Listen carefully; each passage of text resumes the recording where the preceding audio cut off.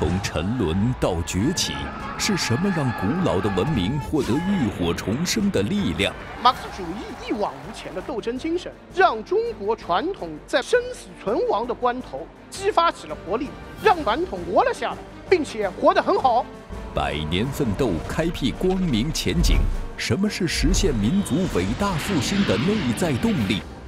相信人民群众拥有无穷的智慧，能够在改造世界的过程当中改变自己、管理自己，从而管理国家，这样的一种巨大的对于人民的信心乃至信仰。深入中华文明内在机理，领略中西古今碰撞交融，读懂传统文化创造性转化、创新性发展。有精华，也有糟粕，二元对立怎么样相通的？所谓的儒家社会主义，您又是如何看待这一问题呢？沉潜到中国和世界的现实当中去，更好的服务于我们的伟大的社会主义建设。今晚跟随复旦大学白刚教授，探寻马克思主义与中华优秀传统文化相结合的时代意义。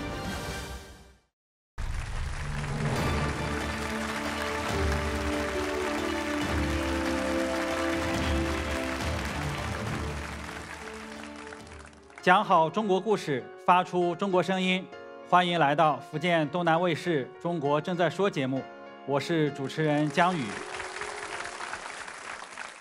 对于每一个想理解当代中国的人来说，有一个问题是必须回答的，那就是马克思主义和中华传统文化之间的关系。二零二一年，在庆祝中国共产党。成立一百周年大会的讲话中，习近平总书记提出，把马克思主义的基本原理和中国具体实际相结合，和中华优秀传统文化相结合的崭新命题。这标志着我们党对马克思主义和中华传统文化关系的认识达到了一个新高度。那么，马克思主义。和中华优秀传统文化有哪些因素是相通的？怎样把马克思主义和中华优秀传统文化相结合，创造新的文明形态，解决当代中国和世界面临的问题？今天，我们就请来了一位从事跨文明思想文化研究的学者，他就是复旦大学。思想史研究中心秘书长、著名语言学家白刚教授，有请白刚教授。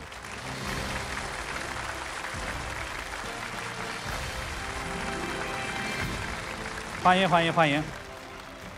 欢迎来到中国正在说。我们说马克思主义和中华传统文化相融通，可能有人就会提出这样的问题啊：说马克思、恩格斯一辈子都没有来过中国。那么，为什么马克思主义和我们的传统文化会有相融通的因素呢？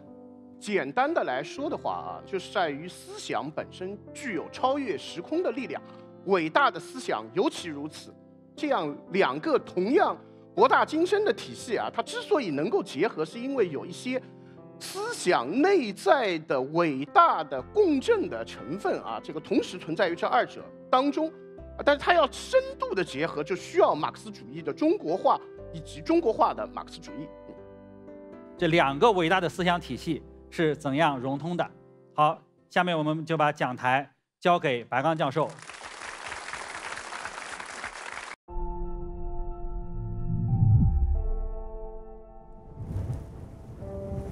近代以来，在数千年未有之大变局中。先进的中国人把马克思主义用于旷古未有的伟大实践，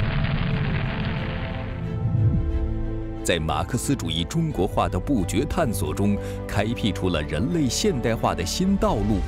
奠定了人类文明新形态。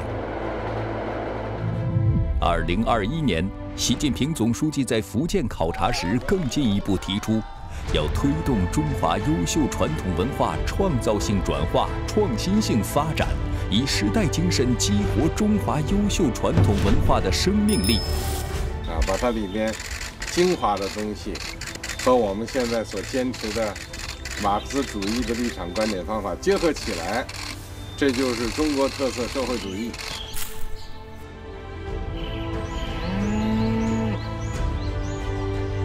用鲜活丰富的当代中国实践来推动马克思主义发展，用宽广视野吸收人类创造的一切优秀文明成果。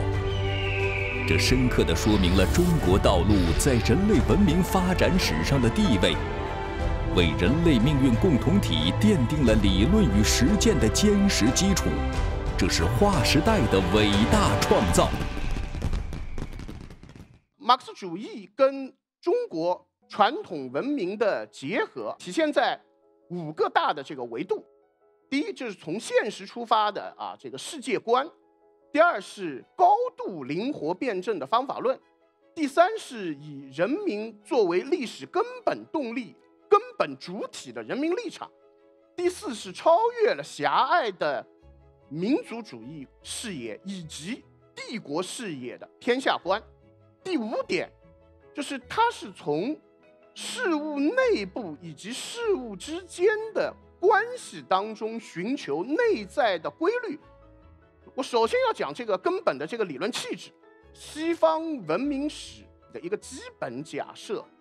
也就是所谓的创生论，它把世界想象成是由神创造的。马克思主义它有一个极为重要的特点，也就是它拒绝。所谓的创生论的假设，在这一点上，中国的传统啊有一个词叫“生生不息”，我可以把它总结为“生生”的原则。那么，生生的原则的核心就在于生命的不息波衍、自我存续，本身就具有价值，不需要去寻找一个外在的意义赋予，因为生命的意义是。内在的，所以这就开启了中华文明的反求诸己的精神传统。从生命是现实的这一点，就流淌出了中华民族不好虚妄，而追求从实事求是的方式去探索世界、改造世界这样的一个呃路径。这条道路就通向马克思主义的唯物。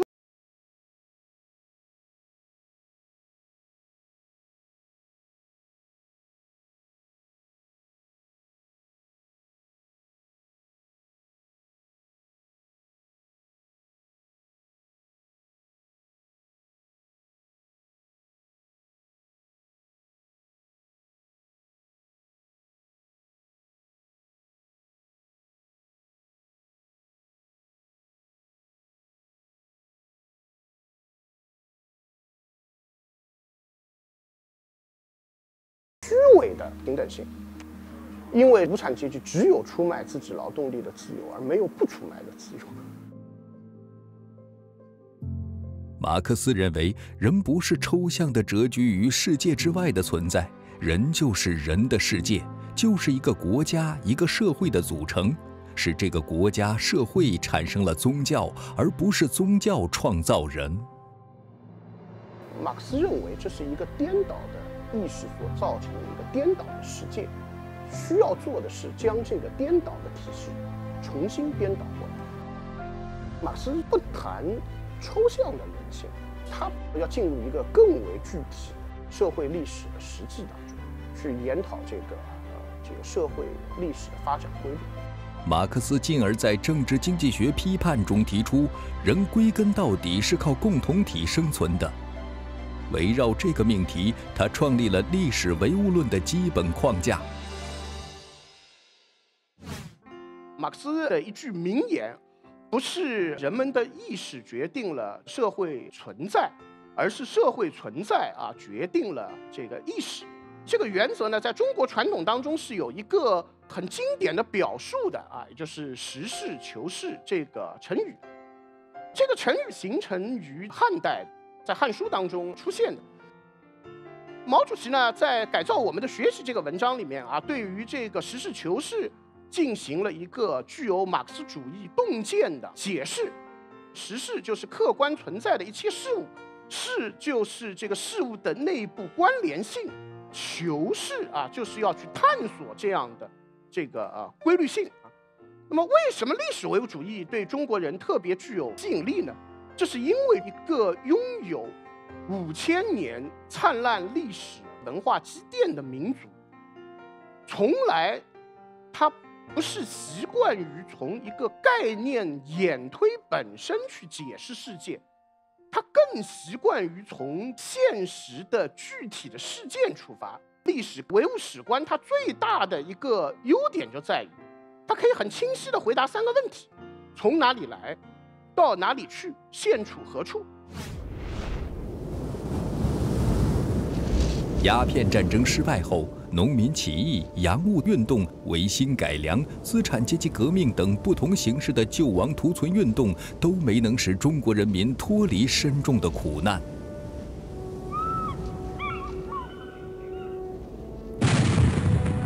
十月革命一声炮响，给中国送来了马克思列宁主义。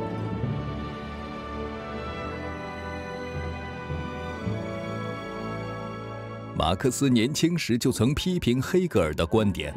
黑格尔认为，人是唯一能够自由支配生命的动物，人通过改造物质世界就可获得自由，因而劳动创造了自由的现代世界。然而，劳动真的可以创造世界、支配世界吗？马克思正是从这里出发质疑黑格尔。马克思认为，无产者他陷入到了一种新的被控制的状态，控制他的就是无所不在的资本逻辑，以及资本主义的生产方式。在一八四四年《经济学哲学手稿》中，马克思谈到了异化问题。异化，比如说这个土地啊，它被孤立出来，变成地租，人只是被抽象为劳动力，以及所对应的工资。异化让经济活动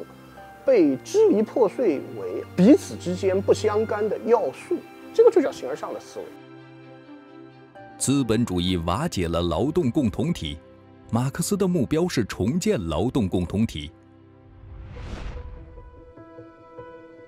中国共产党白手起家，建立了以人民币为核心的现代信用体系，向工业化、农业现代化、国防科学技术进行大规模的投资。中国的人力资本与货币资本第一次有效地结合在一起，创造了资本和劳动的结合。这是劳动人民掌握资本的社会主义形式，是中国共产党对人类社会的伟大贡献。马克思认为，投身到共同的事业当中去，构造起一个人人为我，我为人人的这个共同体。只有通过这一点，我们才能读懂马克思的历史唯物论，才能理解中国式现代化道路。马克思认为，资本主义最终会被人类社会共同体所扬弃和超越。中国共产党人把马克思主义与中华文明相结合，重建中华民族共同体，走出了光辉灿烂的中国道路。这也正是马克思对未来的想象。中国人在漫长的历史过程当中所形成的对于一系列兴衰演变的规律性的探索。它不但对于解释中国历史是具有巨大的这个参见意义，同样对于全人类而言有它的普遍这个文明史意义。那么，生命本身呢，不只是现实的，它还是高度复杂的、微妙的、实时变化的。由这一点，那么就通向了马克思主义的这个辩证法。辩证法呢？恩格斯啊，曾经在《社会主义从空想啊到科学的发展》一文当中，为了来讲述这个辩证法的，他特别讲了一下这个作为辩证法的对立面的，哎，就是形而上学的啊，这个立场是怎么样的？形而上学代表的是对于事物的某种僵化的、固定的、失去生命力的把握啊。他想象这个事情是这样的，就只能是这样。比如说，强大者是强大的。所以他会一直强大下去，然后弱小者是弱小的，所以他只能接受自己的弱小，啊，这个在当今世界上啊，这个特别是在强弱关系已经发生如此深刻变化的世界当中，很遗憾，还有大量的人因为信奉着这样的一种形而上学的这样的世界认知，他们还在想象这个西方因为过去数百年是强大的，所以它会一直强大下去。那么辩证法是什么呢？辩证法就是要看到这个事物是发展的、变化的，是要把这个事物当作是活的生命来观察。这样的一种传统思维体现在中国文明的这个方方面面。比如说这个中医，它体现的辨证施治的这个思维，因而它不存在某种所谓的固化的方子去应对一切的这个病症。这个可以很好的来说明这个辩证思维是如何呈现在我们的寻常日用的这个每一细节当中。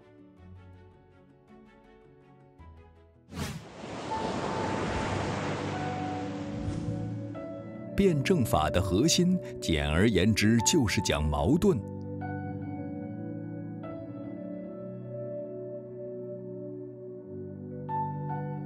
习近平同志任中共福建省委副书记的时候，就在。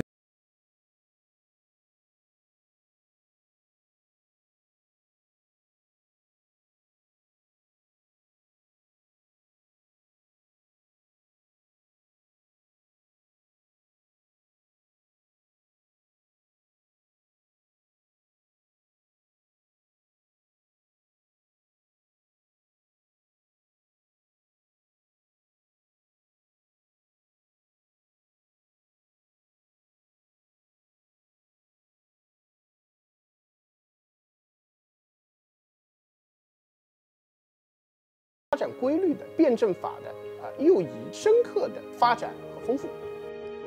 辩证法就是对待有机体的运动的方式，攻其一点不及其余，都是违背了辩证法。形而上学的人总是喜欢说历史终结，而善于运用辩证法的中国人则向世界宣告：历史没有终结，也不可能终结。中国共产党人有信心为人类对更好社会制度的探索提供中国方案。第三个啊，特别重要的是以人民作为历史发展的根本动力和根本主体。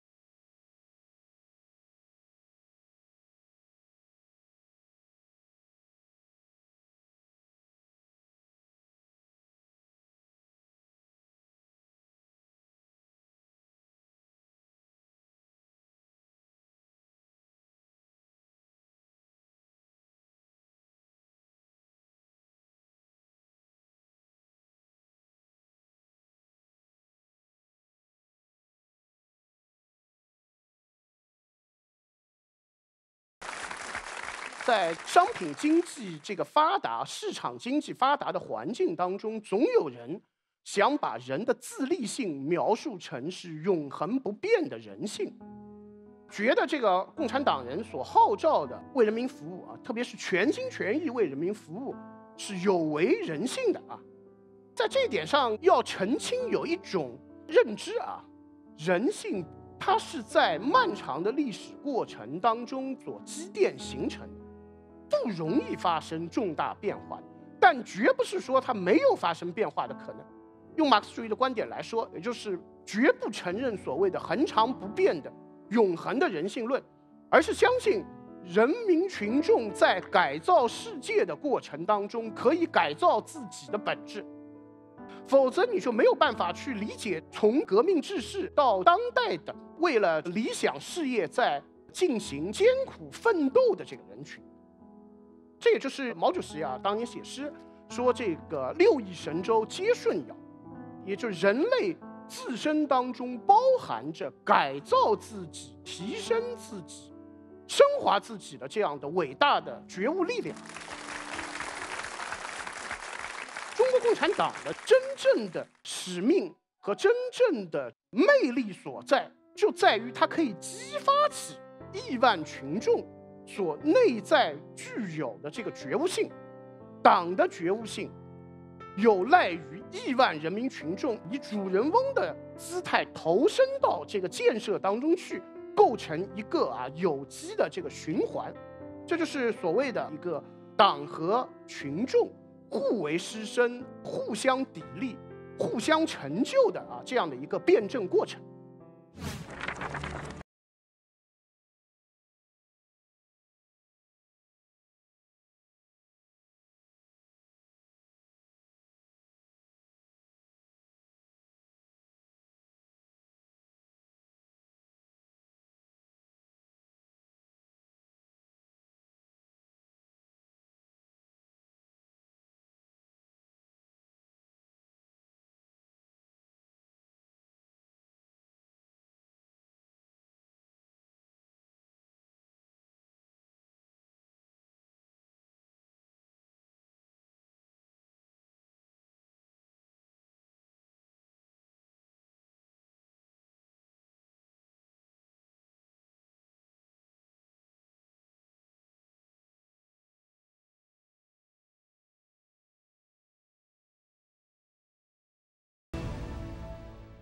可能就要问啊，过去有一个阶段啊，我们对这个传统文化重视的不足，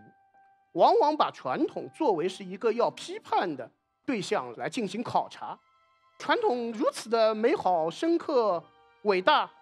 似乎好像曾经对于传统的这个批判都批判错了。哪怕有历史的合理性，你也太缺乏温情了一点。在这里，我特别想要讲的是，对待传统确实需要有温情。但是，绝不能只有温情。如果只有温情的话，你会落入到另一种历史虚无主义当中去。那种历史虚无主义就是要把中国传统跟通过中国革命所塑造起来的新中国对立起来，或者是想要用传统的价值观来取代马克思主义，即便在。五四运动和中国革命对中国传统文化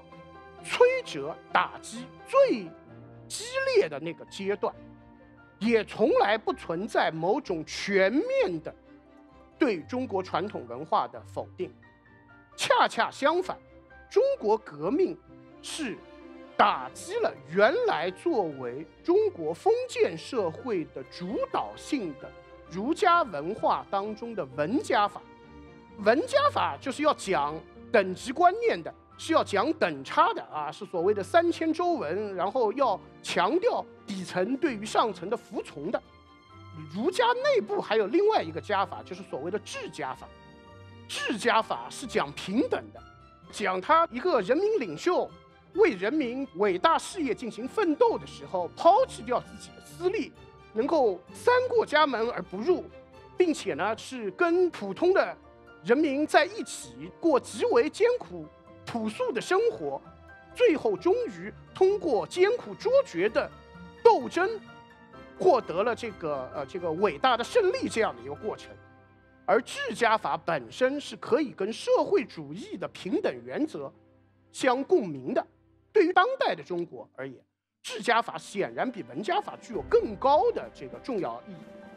中国革命对于文家法确实是进行了非常激烈的摧折，不靠这个怎么能进行深刻的土改？不通过土改怎么能够改造中国的几千年以来所形成的人身依附关系，和建立在这种人身依附关系上的各种各样的依附性的观念？中国怎么能够摆脱过去的旧的各种桎梏和束缚，建立起一个世界上现在唯一的庞大完整的独立的工业体系？在打击文家法的同时，恰恰是以大禹为代表的儒家的这个治家法的精神被激发起来。同样，原来在中国传统当中相对处于边缘性地位的，比如说墨家的“摩肩放踵，以立天下”的这个精神。就很好的跟中国革命当中的这个英雄主义的意识结合到了一起，啊，因而绝不能把五四运动以及中国革命一般性的描绘成，只是打击摧折了中国的传统。中国革命事实上是一场让中国传统的这个内聚的觉悟性和平等性空前的。激发出来的这样的一个这个过程，它不是这个不尊重中国的这个传统，恰恰相反，它真正体现了对于一个传统的尊重。这个对于传统的尊重，绝不是说看到他的问题不去指出他，只是用一个温情的态度去这个为他进行辩护，而是面对问题要直视它、射受它、解决它。就好像是一个人在这个生病的时候，往往有可能是要服药、打针这样的，这个过程本身很可能并不那么令人愉快，但是这对生命体而言是有意义的。还有一类人，比如说这个以海外新儒家为代表，讲这个革命之后的中国传统文化凋零，中国这个文化的这个正宗就转移到了海外啊，转移到了台港澳地区去啊，只能说这个。他们对于文化、文明的认知，停留在极为肤浅的层面当中。就为什么肤浅呢？因为他们事实上设想的是把文化和文明当作是某种类似化石这样的存在，最好是把你这个搞一个特定的这个保护馆，存在这样的一个保护馆当中，然后你一直保存着它特定的历史痕迹和形态，在那里这个供其他的。人这个发思古之幽情进行瞻仰，他没有意识到这个生命最大的意义就在于，他可以改造自身，他通过让自己活下去，然后形成一种新的形态。在这一点上，应该要理直气壮的、充分自信的讲，新中国是中国传统的思想精华和。中国道统正统当之无愧的继承者，他通过扬弃掉这个传统当中的不合时宜的部分，让这个传统面对巨大的外部入侵压力的这个生死存亡的关头，激发起了活力，让这个传统在付出了代价的情况下还活了下来，并且活得很好。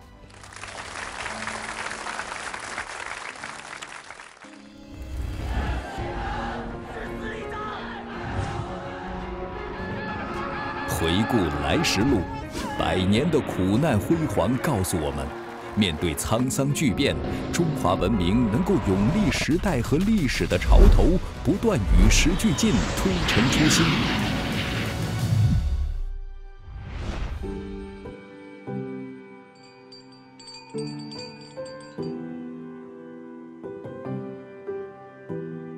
习近平新时代中国特色社会主义思想是当代中国马克思主义、二十一世纪马克思主义，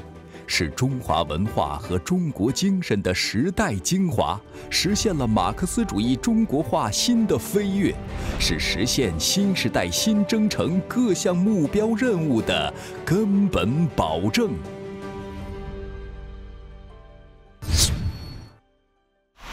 有关马克思主义和中国传统文化相结合的命题啊，这个我们可以相信，它是在未来的啊较长的时间当中，都会持久的、不断的激发我们的思绪、想象和创造力的这样的一个伟大的这个工程。这绝不是一个轻松的、肤浅的工作，它需要我们不但要拿出巨大的热情。而且要能够沉潜下来，沉潜到伟大的文本当中去。更要能够沉潜到这个中国和世界的这个现实当中去，用理论知识去分析这个世界，啊，从而能够更好的服务于我们的这个伟大的社会主义建设。今天中国的建设绝不只是中国一国的事情，它表明一个拥有五千年悠久历史的文明古国，可以通过。对于自身传统的带有革命性的创造，让自己在现代性的境遇当中获得新生，它也向世界证明，在成为世界体系当中的压迫者、剥夺者，或沦为被压迫者、被剥夺者之外，人类还拥有另外一个更值得追求的可能性。中国已经实现了这个可能性，在中国道路的感召下，我们相信人类。会迎来这样一个更为光明的前景啊！这个这就是所谓的敬天下于太平。谢谢大家。再次感谢白老师。我想请教，为什么你可以这么有信心，我们的文化将来可以走向世界，可以影响世界呢？五百年以来的这个世界体系啊，它实际上有一个大的规律，也就是这个规律，也就是它的霸权国家。会发生这个交替，就由最早的这个十六、十七世纪的荷兰霸权，到这个十八、十九世纪的英国霸权，到二十世纪的美国霸权，它这个霸权交替过程中存在的一个很有趣的一个一个规律性的现象，就是每一个霸权从世界范围当中汲取的超额利润，都会出现一个数量级的跃升。与这个相应的是，每一代霸权所维系的时间明显缩短。荷兰霸权维持了两百多年，英国霸权只有一百，美国霸权如果从一九四五年起开始算，到二零零八年金融危机爆发，作为它一个合格意义上的霸权，它才六十几。如果这条规律继续延续，也就是如果有一个力量取代美国，它还是走霸权这条路。那么它会出现什么呢？就它截取的超额利润是美国的十倍以上，超过地球的容量。就这这肯定已经要超过地球的容量，而它享受霸权的时间又比美国还要少得多。如果还要走霸权这条道路的话，那就是一个这个不惜透支这个人类未来十几代人的前途，又会在极短的时间当中崩解的这样的一一个特定的这个这个命运。因而呢，这个我们需要。世界需要一种新的可能性，就是摆脱掉霸权式的支配、中心边缘支配、受制关系的这样的一种更公平合理、更为扁平化的一个结构。这个结构不但对于中国以及广大东方国家是好的，对于长期以来被称作发达国家的西方，对他们也是好的。好，也需要白刚老师更多的为我们想象世界的另一种可能。好，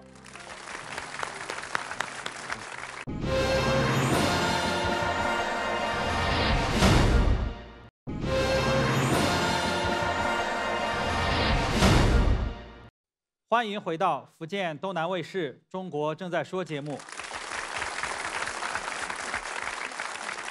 好，今天我们现场还请来了四位很有思想的观察员，下面就请他们和白刚老师交流。中国文化越明教而任自然，与西方唯一的神和整个宇宙之间的这种二元对立，显然是不同的结构。那么，马克思主义和我们这种中国文化这种出世的部分，它们之间是怎么样相通的？谢谢。中国传统可以说是极高明而道中庸，但是它缺什么？缺马克思主义所描绘出来的那种对于斗争一往无前的斗争精神。和对于斗争的哲学化的表述，有了这样的一个斗争哲学，以及与之相应的组织化的生活之后，中国才能够实现由一个老大的这个这个文明古国向现代中国的这个转型。中华传统文化对于马克思主义可以补充的，就是在你刚才讲境界上，比如说全心全意为人民服务，不只是一个理论上的事。它是需要能够落在特定的行止当中的，而这个行止又是通过人的起心动念来实现的。愚公移山里面讲得很清楚，人民才是上帝，我们要感动上帝，要相信人民本身拥有可以拯救自己的力量、改造世界的力量，通过管理自己，从而来管理这个国家。所以在制度上也就表现为十八大之后总书记反复强调的民主集中制是我们党最根本的领导制度，还有就是要走群众路线啊，人民就是江山，江山就是人民。好，下面我们有请第二位观察员。在去年的七月二十六号，在福建福州召开的教科文组织的世界遗产大会上，我们的泉州成功的入选了世界遗产名录。它入选的名字是泉州宋元时期世界海洋贸易的中心，就是意味着什么？我们中国这样优秀传统文化是一个非常包容的文化，在泉州现在的文化遗存里面，我们可以看到那个时候，泉州有各种各样来自世界各地的民族的、宗教的各种不同信仰的人都到我们泉州这个地方从事各种的文化交流、贸易交流，包括比如说意大利的马可波罗、摩洛哥的伊本白图泰。马可波罗就惊呼泉州是东方世界大港。正是因为有各种不同的文化吸收到我们的中华优秀文化中来，使我们的文化呢更源远流长、更枝繁叶茂。这种文化的包容性传承到我们今天，把马克思主义的学说跟中国我们现在的社会实践相结合。从这一点来说，我非常感谢白教授今天做的这样精彩的演讲，给我们有很多的启发。事实上，整个泉州当时应该是朝贡体系早期的国际体系的一个重要的一个一个枢纽城市啊。事实上，它包含着一个构建平等的、互惠的国际关系的几乎所有元素。那么，在新的历史阶段当中，习近平总书记号召中国要与全人类啊这个一起共建人类命运共同体。那么，我们这个迫切的需要能够在威斯特伐利亚体系这样的西方式的基于战争和军事的想象之外，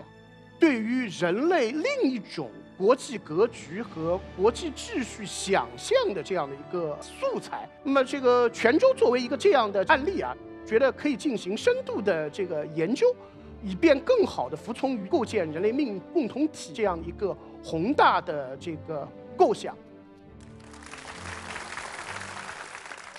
好，第三位观察员，欢迎您。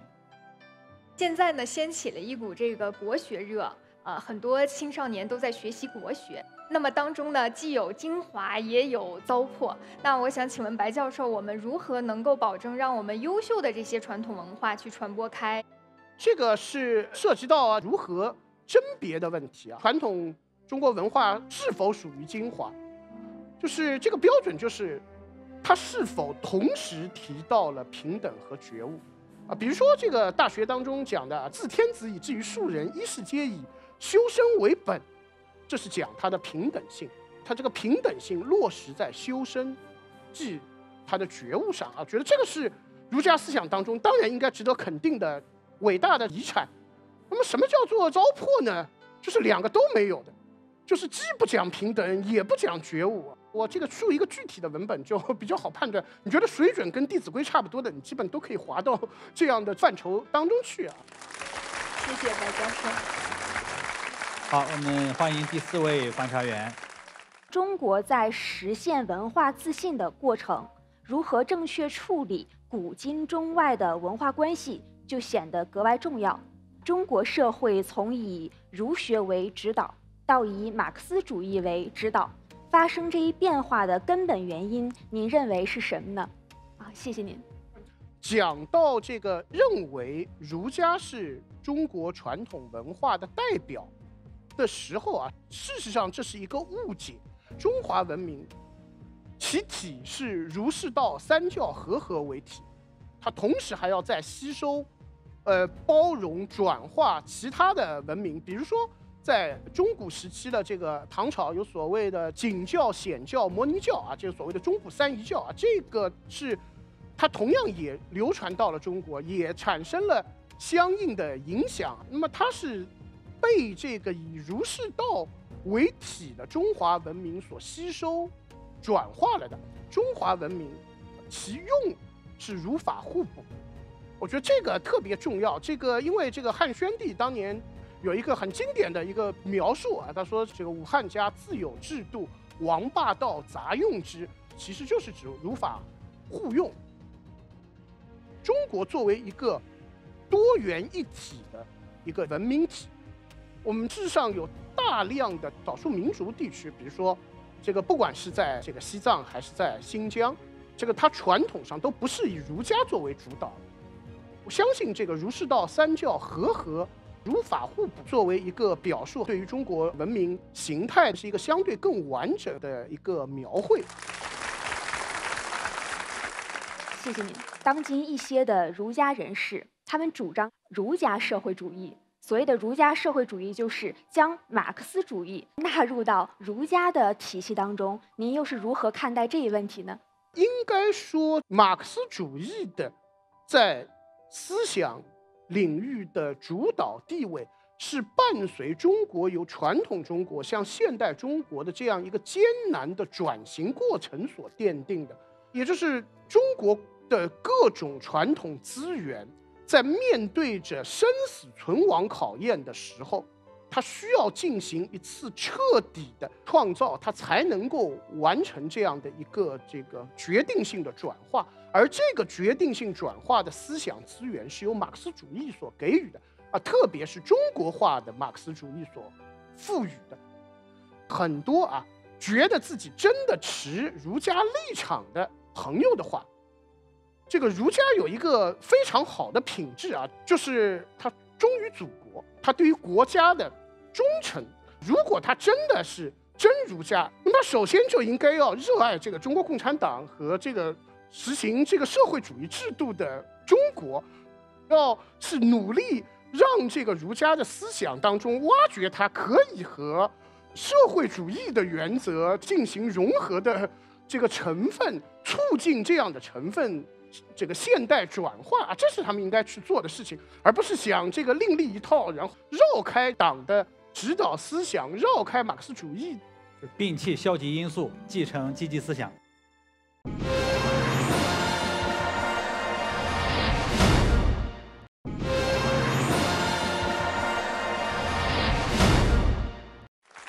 好，今天白刚教授带领我们遨游了马克思主义和中华优秀传统文化两个博大精深的思想体系。我想，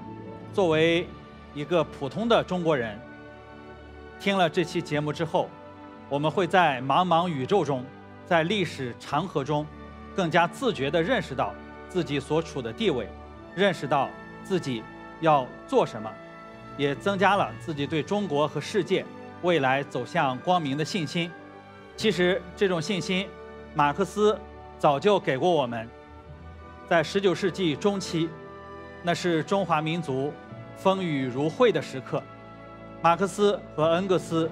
以极大的热情关注着中华民族的前途。一百多年来，中国的发展